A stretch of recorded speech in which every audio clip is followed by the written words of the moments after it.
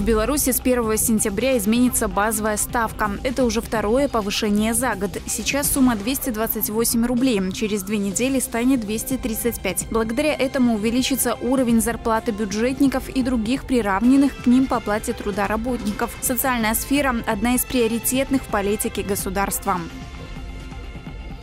преддверии учебного года санэпидслужба проводит мониторинги торговых объектов. Уже под запретом продажи более трех тысяч товаров для детей. Это обувь, одежда, рюкзаки, канцелярские принадлежности. Основные нарушения – неправильные условия хранения, отсутствие маркировки и документов о качестве изделий.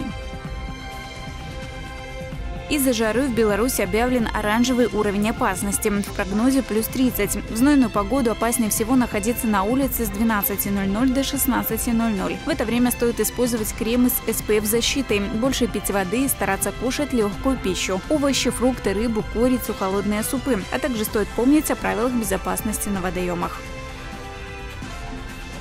В Бобруйском районе на пожаре пострадала 61-летняя пенсионерка. ЧП произошло на прошлой неделе в садоводческом товариществе. Когда женщина работала в огороде, ее дом загорелся. Хозяйка бросилась внутрь за документами и получила ожоги. Спасатели вызвали соседи. Причина возгорания выясняется.